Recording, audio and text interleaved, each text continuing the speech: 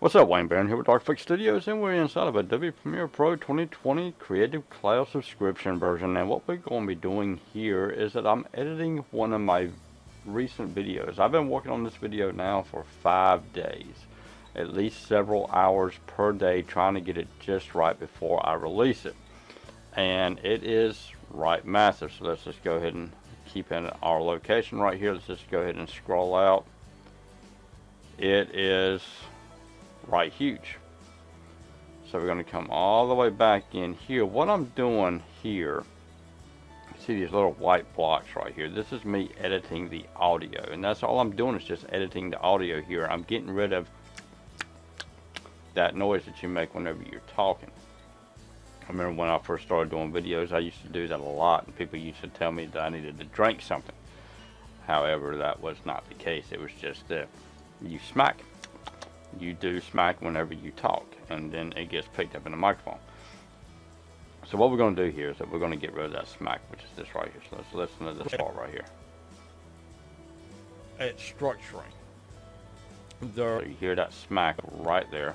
I didn't have my headphones on, but I know it's right there. So what we're going to do is that we're going to come right here. And if you're not sure exactly where the smack's going to end at, you can come in yonder. You can use your scroll wheel. If you're using a mouse, that is hit the alt key and you can scroll in and out with the scroll wheel.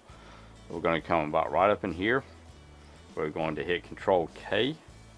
Go to the beginning of it, control K. We're going to grab a hold of this line right here. I'm going to drag it down. That gets rid of that um, that smack.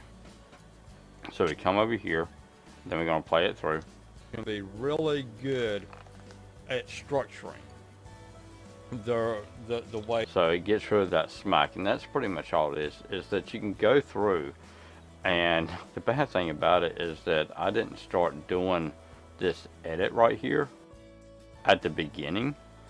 Well, 34 minutes into it. So I'm 34 minutes into it, and I didn't start doing that actual edit right there till sometime around the 24 minute mark. So I've got to go all the way back to the beginning because I've got a lot of them smacks in there that I have to remove.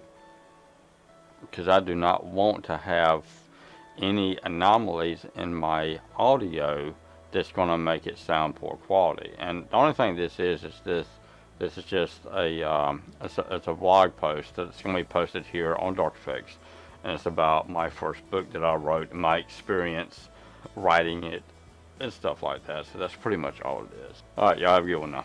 Bye bye